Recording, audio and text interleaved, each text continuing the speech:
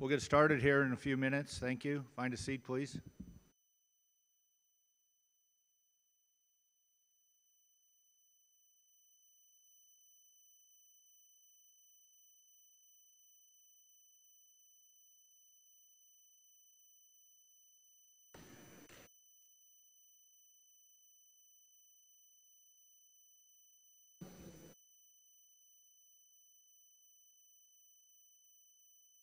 That's not.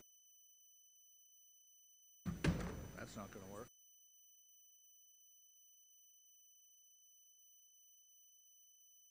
I'll take that.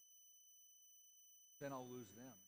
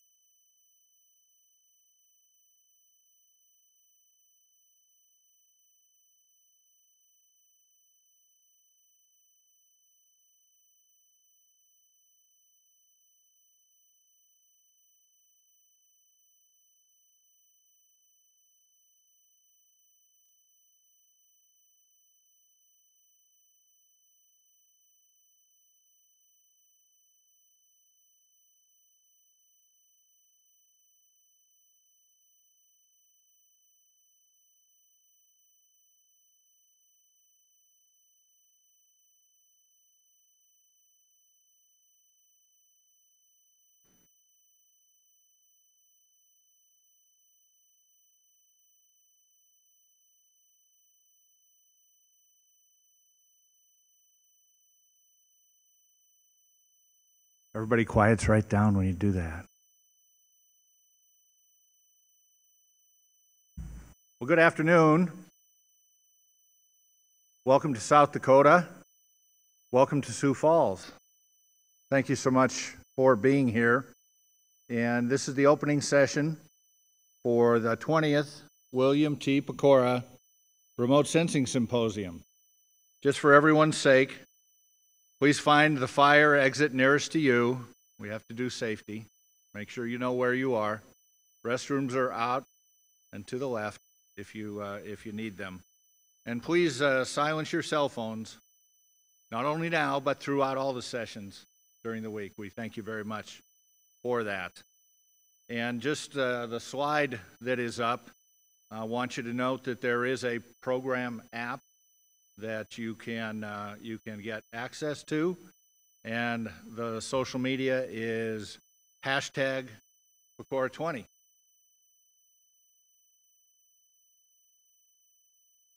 I'm Frank Kelly.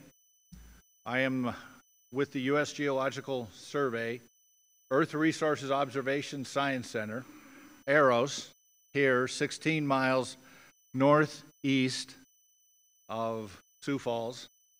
And on, on behalf of our 600 uh, employees up there, we welcome everybody to our backyard. So again, thank you so much for being here. And I want to thank Sioux Falls for being a great host and uh, having the conference here this week. The 20th Pecora is a wonderful opportunity to be informed about roles, applications, and opportunities to use, to use Earth observations, observing a changing Earth, science for decisions, and the favorite words monitoring, assessment, and projection. You're going to hear a lot more about that during this week. And there's been a lot of work to get us to a great place to be able to have those kinds of discussions. The program has been assembled by steering committee chairs Bruce Quirk, who is not here, and Tom Holm, who is here. And I want to thank uh, Tom. And the technical program committee chairs are Martha Anderson, Jess Brown, and Jennifer Rover. And it spans a broad set of topics from the applications of satellites and other Earth observations to monitor, assess, and perform projections for future land and water resources. To big data, we're going to have sessions on big data and analytical technologies related to that and utilizing satellite data. Please immerse yourself in the symposium. We'll get started here in just a second with Andrea and help us make this week a success for everybody who is here.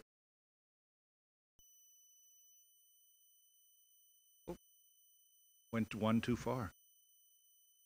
I now want to ask um, Andrea Travnicek, who is the Deputy Assistant Secretary for Water and Science at the Department of Interior, to say a few words. But before I give you the podium, I need to mention she's from North Dakota, and we do not hold that against her. Even though North Dakota State did lose to South Dakota State, she's been very gracious about that for the, for the past couple of days.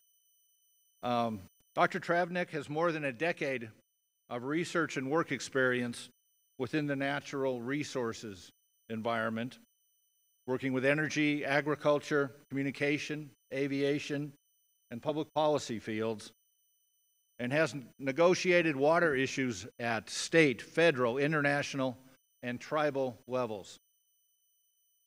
Dr. Travnicek has ties to the Dakotas, as I mentioned, but she was also appointed as a senior policy advisor to Governors Hoeven and Dalrymple in North Dakota. Dr. Travnicek also has experience working for the U.S. Army Corps of Engineers, an environmental consulting firm in Bismarck, North Dakota, and also Ducks Unlimited. You can ask her about that later.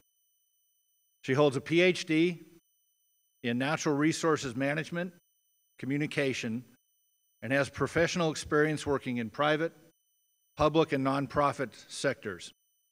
Andrea, welcome to Pecora 20.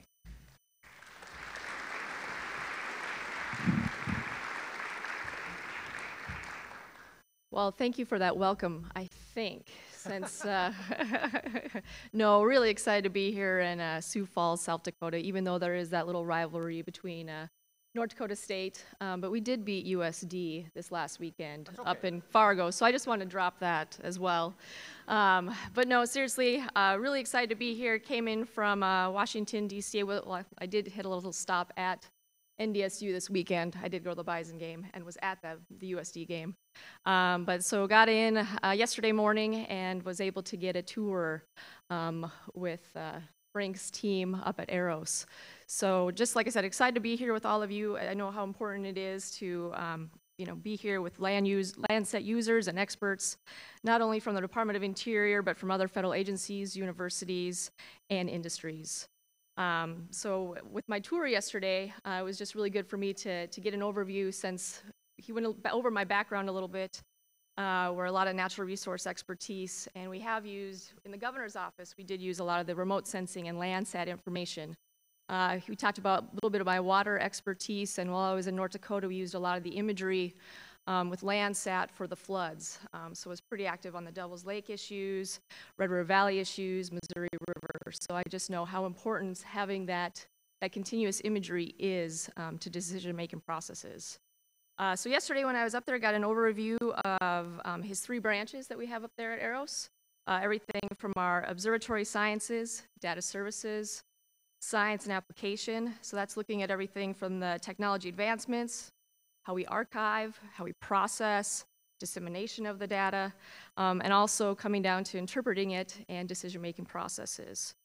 Um, so since I've been on board about four months, moved from Bismarck to DC, thought I'd just go over some of the themes. I've had you know a few meetings um, on all this so far, um, but some of the themes that I walked away with is the importance of the Landsat imagery and the importance of having the continuous satellite imagery from the past, the present, and into the future as changes occur worldwide. Also, the importance of the, the calibration and validation of the data being collected. I know that's a big topic here this week. Uh, the imagery and information collected is important at not only the local, regional, national, and international levels, but also we've seen an increase in the usage of the information too across the federal government um, and globally. Uh, I know that there's been a lot of discussion too moving forward on Landsat and the, and the future missions, so we need to continue to stay in touch with our users, reviewing and determining user needs and the use of remote sensing for the missions. Uh, so whether that's discussing the spatial, spectral, and thermal data, I know I sat in a little bit of the discussions this morning, and that seemed to be uh, quite the topic of what that's going to look like for Landsat 9 and in the future for possibly 10. Um, and then one of the topics we ended with yesterday on the tour uh, was the concept of LCMAP. Uh, so looking at the land change, monitoring, assessment, and projection. So just how important, uh, how the data can be collected and analyzed for various uses, and is readily available for everybody. And besides EROS, want to let you know that I have gone out to Goddard Space Flight Center, so have met with NASA, so working on the continued collaboration and cooperation with them as well. Uh, we'll be having my first uh, Sustainable Land Imaging Joint Steering Committee next week as we're looking at how to move forward from Landsat 9. We're looking forward to that in 2020. Um, but then also, what does it mean moving forward? Uh, so uh, since we are starting to have those meetings, those discussions, uh, look forward to any feedback that any of you might have. I know that we've got our USGS folks here, um, NASA, um, so looking for any of the discussions that you might think are important as we move forward. Uh, and with that, I just want to, again, on behalf of the Department of Interior, want to thank you for allowing me to be here with you today. Uh, Department of Interior is committed to the Landsat mission and um, working with all of you. I did want to bring one update from the Department of Interior. Uh, last night, the White House did announce that we um, have a name for the Assistant Secretary for Water and Science. Um, many of you might recognize the name. It's Tim Petty, who actually was a Deputy Assistant Secretary and Acting Assistant Secretary during uh, George W. Bush administration. So just wanted to make sure that you guys had that latest update. Um, and again, just want to thank you for having me here today. So, great.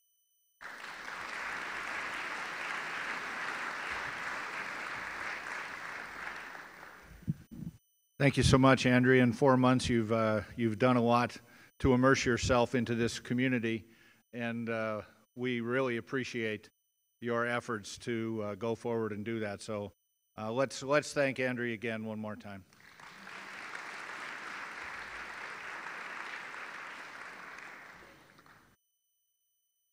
So moving on to an opening keynote, I'm going to introduce um, Barb Ryan as our keynote speaker. Barb is the Secretariat Director of the Intergovernmental Group on Earth Observations in Geneva, Switzerland. She became Director of GEO in 2012 and has worked to integrate Earth observations around the world into, single, into a single comprehensive system that uses coordinated data to understand how environmental factors impact human life. In 2008, she served as the director of the World Meteorological Organization space program. And prior to her work at the WMO and GEO, She was the Associate Director of Geography for the USGS, where she was responsible for the USGS remote sensing activities, geography, and civilian mapping programs, of course, including Landsat satellites when she had her time with USGS. It's during that time that she led an effort to change the decade old Landsat data policy to full and open access to the data. An action that has resulted in nearly 70 million scenes being downloaded globally to date. Do you have other numbers? I'm going to give you some extra scenes, Barb, okay?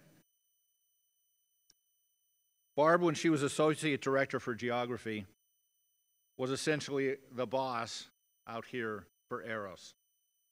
Though I didn't get a chance to work with her uh, dur- during that time frame, uh, she left just prior to when I assumed uh, my responsibilities, but our paths have crossed in, in some other uh, very interesting ways. And I guess we, we want to welcome you back, and we look forward to your keynote and that you have a great week here like everybody else. Barb Ryan.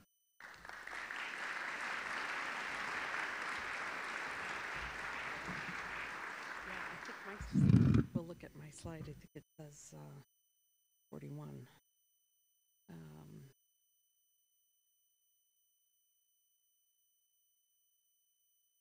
So where? here. Yeah, great, wonderful. Uh, Frank, thank you very much, and boy, it uh, sure is a pleasure to be here. I think it's been uh, quite a while since I've been back to Sioux Falls. Uh, not so long since I've been back to uh, South Dakota, Rapid City. There was a CEOS Committee on Earth Observation Satellite meeting there a couple weeks ago, and so I had an opportunity to get into that. Um, yeah, you know, it- it's funny because I was uh, at the Department of Interior and USGS when uh, we were able to change the Landsat data policy, but I can tell you this whole week is a commemoration to the whole Landsat program, and there are certainly uh, people in the audience that uh, spent many more years and way longer uh, than I did. I was in the position for eight years. Course, Bruce Quirk, Jay Feuquay, R.J. Thompson. I mean, just a lot of Sam Goward. You're going to be acknowledging him later on. Jim Irons. Uh, my goodness, just think about the people that spent all of their careers uh, trying to get this data policy changed. So uh, for me, it was just an amazing, uh, amazing time to be in the position at that time. Um, but but here for this keynote, it really is talking about terrestrial observations coming of age. I mean, really, finally coming of age. And so the key messages right up front uh, are that there really have been tremendous accomplishments over the last 50 uh, plus years with terrestrial observations from space. Collaboration, though, at national, regional, and international levels is absolutely essential. Um, we in GEO talk about hyper-partnering. Uh, The Association of Investigative Journalists calls it radical sharing. I mean, really, just radical sharing of information at the national level, regional level, and international level. Uh, Clearly, broad open data policies must be further advanced to leverage existing and planned investments in Earth observations and geospatial data. We'll come back to that.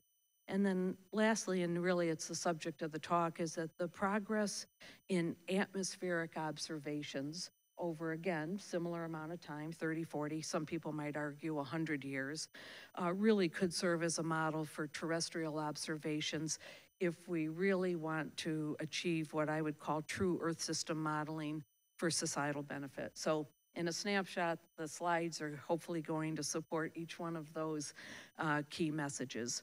Um, But think about the progress over the last 50, uh, 50 years. I, um, you know, the Committee on Earth Observation Satellites, we call them the Space Coordination Arm of GEO.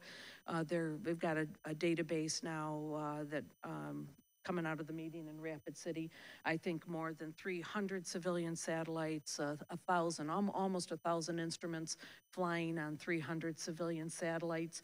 You know, if you look at just the middle resolution data, and I'm sorry I don't have a slide for it, but with Lance, the history of Landsat, the introduction of the Sentinel series, you guys know the numbers better than me.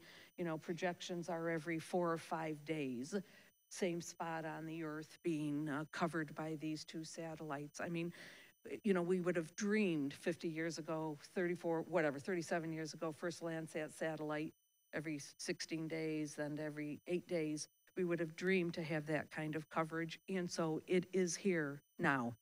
Um, uh, but we've got more to do. Um, there clearly has been improved coordination of data providers, not just on the space side, but on the in situ or ground-based side too. You know, just within GEO, work across seven continents, eight societal benefit areas. We've been around for 12 years. Um, more than 400 million resources are discoverable and accessible, and a lot of that is clearly Landsat information increasing numbers with the Sentinel series that they're coming in. But those 400 million resources aren't just space-based information, uh, but a, a lot of work is now going into having these, this, uh, this information at our fingertips. And there's increased, I would say and argue because of that increased exposure to the data and the information itself, there's an increased awareness and use of Earth observations across all sectors and across all industries. We happen to call them societal benefit areas, and they're shown here all the way from biodiversity and ecosystem sustainability out to water resources management. Clearly, climate touches every single one of these societal, uh, societal benefit areas. Um, but uh, it can't get done without open data for the benefit of humankind.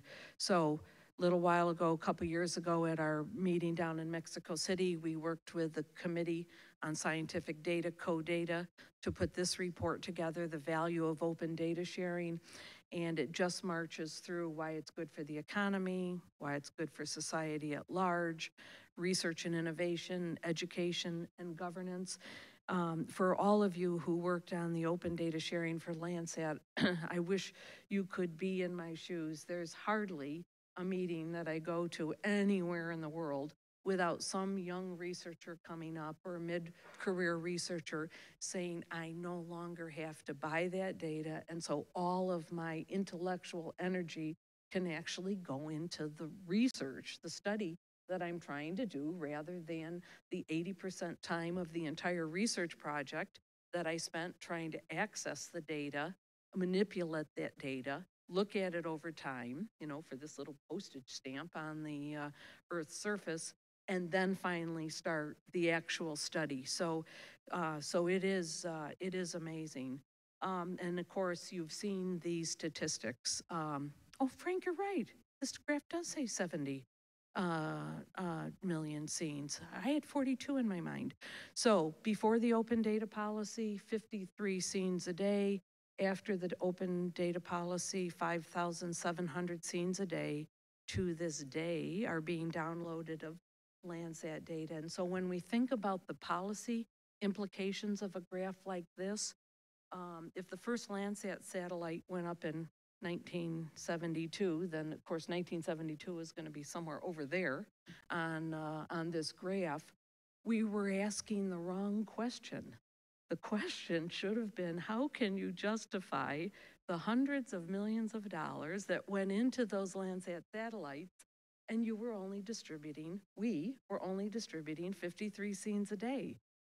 So that's a tremendous investment. It, in fact, for the 30 years of the history, it wouldn't have even shown up on this graph for the distribution and the download of Landsat. In fact, I think it um, was Sam who said at the time, um, the best uh, archives around the world are probably using two or 3% of the archives. Two or 3% of the archives when it should have been just the opposite, 97 or 98% of the archives. But I think, and Andrea, this is going to be so important from a Department of Interior perspective, particularly in this administration. It's not just the education and the capacity building, those things that you saw on that previous graph, but it's this number. That data policy created $1.7 billion. This is a 2011 numbers. In one year, $1.7 billion to the U.S. economy, $400 million elsewhere, for a global total of 2.1 billion, which far exceeded the four and a half or $5 million that we were taking in from selling those 53 scenes a day. So we were hoping the numbers came out this way. Uh, so this global total far exceeds the millions of dollars that we were making. And it certainly would be a, a travesty to turn your back on this economic return because it's largely in the private sector, value-added products and services that come in off this government data to in fact grow jobs in the economy. So uh, really, and, and I, what we have argued in, a couple weeks ago at the geoplenary in Washington DC, okay, this was a 2011 analysis done by the Landsat Advisory Committee, um, but I'm convinced that Europe with the Sentinel data uh, policies will see these same kinds of numbers. It may take a couple years to, you know, kind of nurture the community to start those downloads. Excuse me, but uh, the the economic return is in the use of the data, not the not the data itself. Um, still talking about this tremendous progress that's been made, uh, new platforms and uh, and analytics. Uh, you've probably or certainly will see more about this um, this week. Uh, the Australian uh, Data Cube, calibrated to surface reflectance, single uniform standard, along allows the uh, comparison through time. Through the uh, Australian Data Cube, every unique observation kept included for analysis, uh, creating just really intense, um, um, intense time series uh, work. So over uh, every single pass that would have uh, gone over the, uh, the continent of Australia, pulled into their National Computer Center, uh, pixel by pixel, as those previous uh, animations showed, because the continent's moving north. And so a pixel today isn't geographically the same place it was, um, you know, 20 years ago when the analysis was done. And so we're finally, with this advancement, uh, this is part of the story for terrestrial observations uh, coming, uh, coming of age. Again, um, uh, from my perspective, just a, phenomenal, uh, phenomenal story with the work uh, that Australia has done here. They can drill into this one particular uh, part, the Menindee Lakes, and uh, for every 25 meter square area of the entire continent, say, show me every pixel that's always been wet uh, over that time frame. Show me every pixel that's always been dry. Show me every pixel that's been sometimes wet and sometimes dry. In this area alone, 40 billion observations down to 15 minutes of, uh, of processing time. Uh, they brought in 27 years of data, 25 meter resolution. If you had to pay 450 or 500 dollars a scene for 300,000 scenes for Australia. Um, that's why we weren't doing these analyses. These would have been a third of the cost of the satellite just to do an analysis like this. So for the entire continent down to three hours of compute time. So Australia chose with a number of their partners to bring it in uh, to a national computer center and work with their water agency uh, and, and actually uh, land surface uh, temperature too. And I think this is uh, an animation that's pretty uh, impressive for part of time in 2015 over, over this seasonal change. So again, continental scale analyses that can be done with this information. Australia chooses to bring it into their National Computer Center. Uh, let's look at the work that the Joint Research uh, Center is doing. Uh, Alan Belward's in the audience somewhere here with uh, the Global Surface Water Explorer. So likely similar algorithms, water detect algorithms, um, and instead of using a National Computer Center, has cho chosen uh, to do it globally on Google Earth Engine, 60,000 computers around the world. Uh, Alan and I were at a meeting uh, um, a couple months ago, and he said, you know, there's a really unique thing that I saw. I'm looking at this uh, imagery, and it's some ponds north of Lubbock, Texas.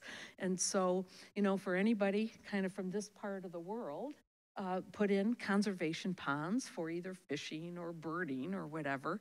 Uh, and very evident in analyses like this where those ponds are, again, pixel by pixel, um, with uh, uh, a, a shading pattern for, again, um, propensity or frequency of water, uh, graphing it to show when an area was entirely dry for 20 or 30 years, when a pond went into being, and uh, then it was wet from there uh, thereon. 32-year water history. Again, one pixel, one pond. I mean, landscape change and landscape analysis that we just were not able, uh, able to do before. Uh, superimposed uh, on this particular image um, where uh, the landscape for which those ponds occur, and then uh, again, color coded with frequency for when they've had water and when they haven't.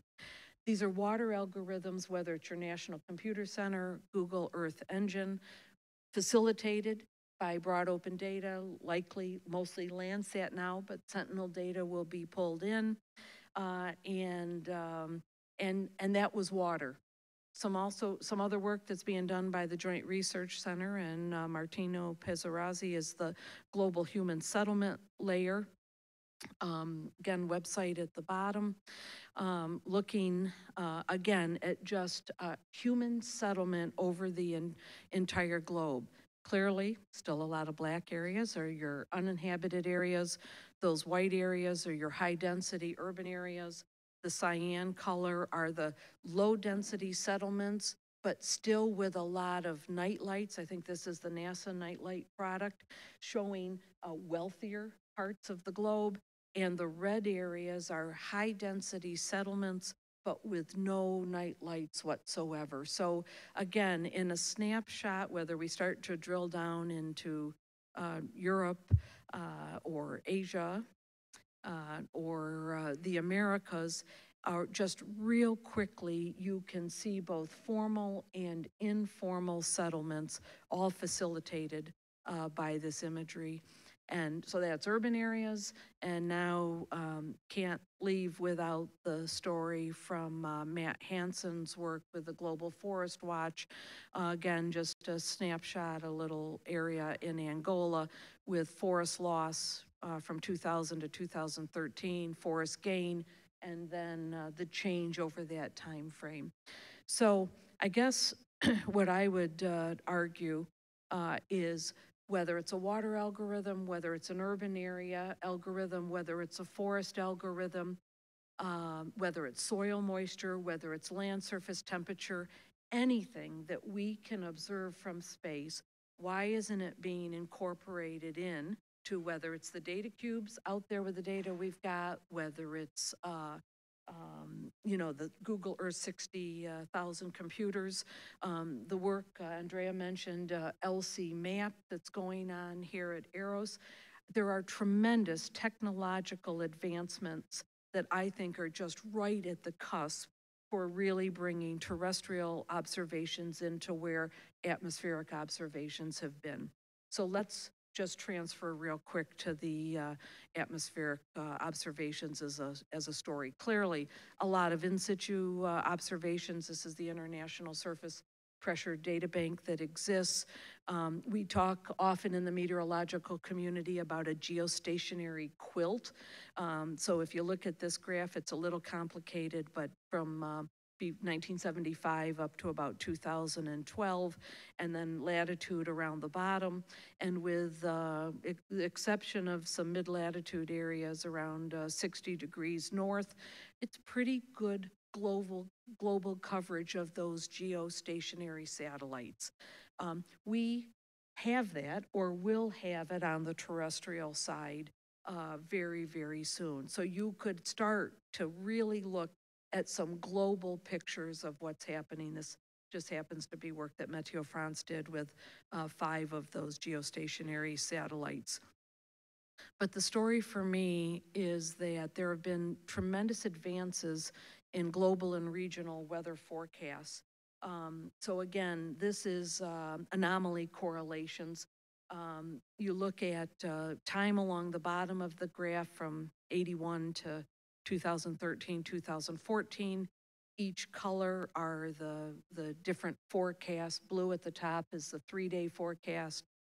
Uh, red, seven-day, green is, uh, uh, um, no, that's, that's actually wrong. Three-day, five-day, seven-day, and then 10-day is in yellow.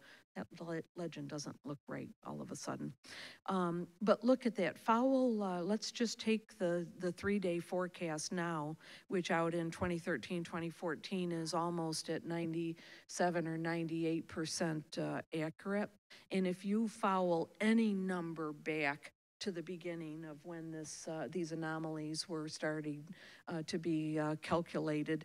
The, the uh, top of the graph is the northern hemisphere, the bottom of any color is the southern hemisphere, and every single number is better than the previous estimate back 20 or so years ago.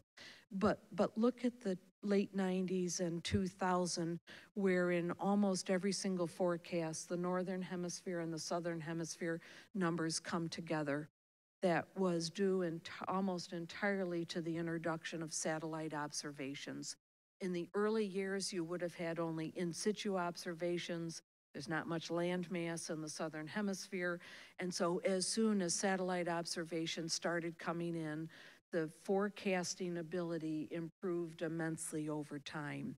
And so I would argue that the work that's happening right now with the Australian Data Cube, uh, with uh, our Global uh, Water Explorer, with the Global Human Settlement Layer, with LCMAP, we are right now at that 1990, late 1990, 2000 era, where we're really bringing in terrestrial observations in a true global, global sense. Um, so uh, again, whether uh, it's uh, dust, atmospheric transport from, uh, uh, for, from forest fires, uh, from dust storms, from pollution. Um, what, what facilitated this entire effort were just a handful of centers around the world. Uh, ECMWF, that graph before on the anomalies came from them, the UK Met Office, uh, CMA, KMA, and JMA, uh, NCEP or NCAR here in the United States. I mean, there, uh, Australia shown with their Bureau of Meteorology work. You know, there's not a center in every single country around the world. We don't have 194 of these.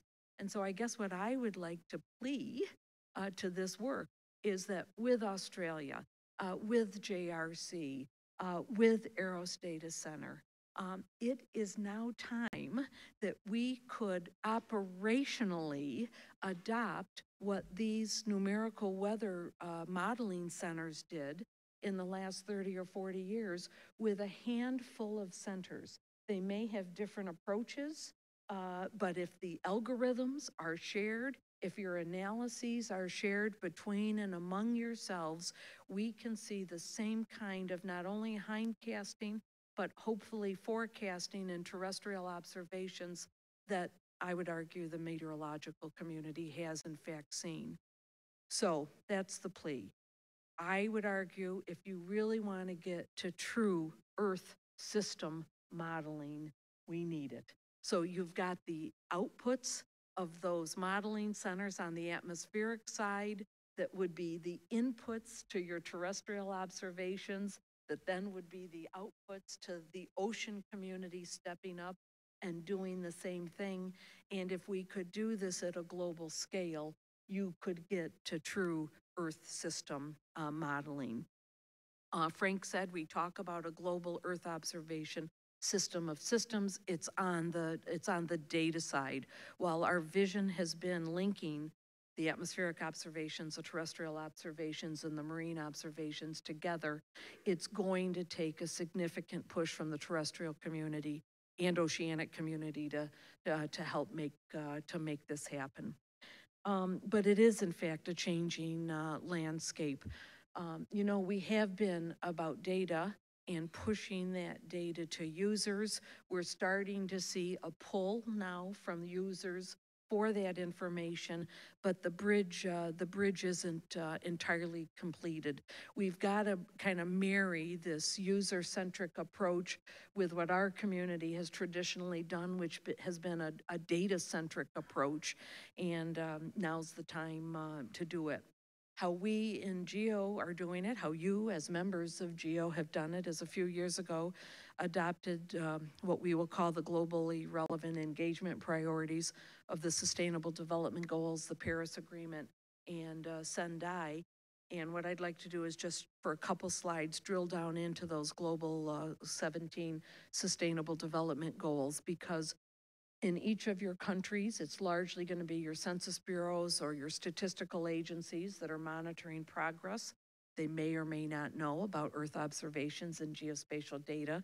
So what we've been trying to do is work with the UN Statistics Commission uh, in New York to say in this publication about transforming our world, the 2030 Plan for Global Action, is that we've got to bring Earth observations and geospatial data into the, uh, into the equation for ensuring national ownership, supporting and tracking that progress. Um, with NASA, with JAXA, the Japanese Space Agency, and with INPE, uh, team has, we call it the Earth Observations for SDG team, looked across a number of uh, easily accessible products for each of those 17 goals. That's this matrix. Uh, They put this report together just recently, which are case studies on how Earth observations can respond to those SDGs. This is a living document, so we're looking for, uh, for more examples of that. The website is there. And so, uh, so I would argue that we've got to continue to bridge this policy mandate with either climate, the SDGs, or the Sendai framework to get politicians knowledgeable or at least aware of the role that Earth observations can play in this field. Um, and some work that we're doing, Brad Doorn's in the audience, has been instrumental in the GeoGlam effort. Uh, we started issuing the first uh, crop monitor for early warning in February. Um, this, obviously, uh, South Africa, where you're looking at major food crops and then, and drivers um, of of conditions and, and why those uh, drivers existed. Clearly, if you want to meet the sustainable development goal of zero hunger, it can in fact be informed uh, by that, uh, by those, uh, that Earth observation uh, information. So producing, openly disseminating this information will help actually start meeting, uh, meeting that goal. You know that about 94% of the world agricultural areas are covered either by um, AMIS, the Agricultural Marketing Information uh, System, uh, these uh, early warning countries, uh, or the countries that we're already working with. So we have, there, there are in fact drivers out there for this information. And again, for many of you in the audience, you know it largely would have been uh, a- an agricultural driver for the Landsat program uh, when it was uh, first dreamed of in the late 60s and early, um, uh, early 70s. Um, But, but look at these uh, numbers. This is an aggregation of wheat production forecasts. So forecasts for 2010, 2011, and 2012. So what you see are the forecasts in pink, and then, of course, the price uh, in blue, and there's an inverse relationship so that when uh, forecast is high uh, and uh, the costs are going to be low. And I guess what I would, are, and so this is through the growing season. And so look at the discrepancy in these numbers from the beginning of the growing season to the end of the growing season. And how come we aren't using our knowledge of Earth observations much more in advance at the beginning of the growing season so that we could in fact level out these price curves? So we, again, would argue if you want to create a food secure world, you're gonna have to level out these car, uh, these curves so there's just not as much speculation in terms of uh, uh, this entire industry, uh, globe, global uh, industry. So uh, still very much a need for Earth observations. So, in closing, um, tremendous accomplishments over the last 50 years with terrestrial observations from space. Uh, many of you, maybe all of you in the room, have contributed in some way to those uh, accomplishments. Uh, but collaboration is still needed. It's needed at the national level. So the space agencies, the geospatial agencies are talking to their statistical agencies who are responsible for measuring and monitoring those uh, global goals. At the regional level, continental scale, I would argue, and clearly at the international level, again, like uh, conferences like this, um, hyper-partnering, radical sharing is just so important. Uh, we still have a lot of work to do globally on broad open data sharing. Um, they've got, it's got to be further, uh, further advanced to leverage those investments. It goes back to us just asking the wrong question. How could we justify the investment into Landsat? How could Europe have invested, uh, justified an investment into the Sentinel series without a broad open data policy? Uh, and yet we just fooled ourselves by that. Um, and then progress in atmospheric observations, I think, uh, can in fact serve as a model for where we as a terrestrial community to go, uh, need to go. And I'd argue that the only way we're going to be able to reach that 2030 agenda is true Earth system modeling, terrestrial, atmospherically, and oceanically, uh, because they're all, uh, all, uh, all, uh, all linked. So uh, we're fond of saying countries have borders, Earth observations don't. Uh, thank you very much. I uh, really uh, have appreciated this opportunity to just connect with old friends and meet some new ones. So thank you, Frank.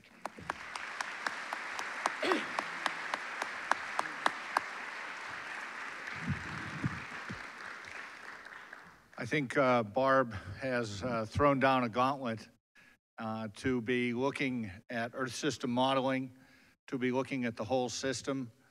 Uh, we have the right people here in this room to be able to do that, and let's do that this week. This is a great start to Pecora 20. Thank you, Barb.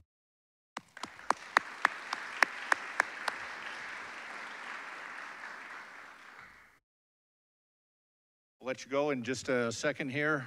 Um, the next session starts at 2:15, the technical session, so you have about uh, 30 minutes. And then uh, tomorrow and Thursday, the breaks will also be for 30 minutes. Remember, at the end of the day, today, at 5:30, starting at 5:30, in the exhibit hall, there will be an exhibitors and uh, poster session, and uh, hope to see uh, see you there and have a real good week. Thank you so much.